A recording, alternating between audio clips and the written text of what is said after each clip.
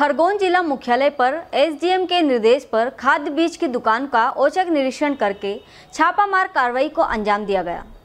दरअसल राजस्व और कृषि विभाग के संयुक्त तत्वाधान में दुकानों का यह औचक निरीक्षण एसडीएम अभिषेक गहलोत के नेतृत्व में किया गया, जिसमें कुछ दुकानों पर एक्सपायरी डेट के प्रोडक्ट भी मिले, जिनका मौका पंचनामा बनाकर मामला संज्ञान में लिया है। इस दौरान टीम ने मीडिया से खास बातचीत में बताया कि जिन दुकानों से एक्सपायरी डेट के प्रोडक्ट मिले हैं, उन पर लाइसेंस रद्द करने की कार्यवाही की जाएगी। खरगोन से अजय तिवारी की रिपोर्ट।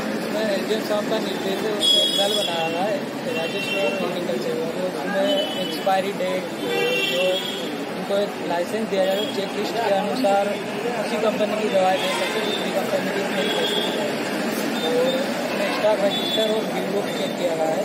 और जहाँ भी कभी का प्रश्न बनाया गया है रिपोर्ट एल साहब को रिसीव की जाएगी। सर क्या किसी तरह की शिकायत प्राप्त हुई थी या औचक निरीक्षण है।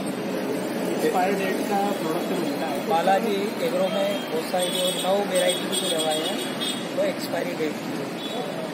हार्टिकल्चर भी आया वो भी कर रहा है तो इसमें सर क्या कार्रवाई होती है और क्या यह कार्रवाई एग्रीकल्चर वाले होता है। लाइसेंस रद्द करने संबंधी कार्रवाई भी की जा सकती है। आए दिन किसानों के भी शिकायतें प्राप्त हुई है। हेलो फ्रेंड्स आप देख रहे हैं हमारा channel S W twenty four news हमारे सारे वीडियो सबसे पहले देखने के लिए आप हमारे चैनल को सब्सक्राइब करें और पास में लगे बेल आइकन को दबाना बिल्कुल भी ना भूलें।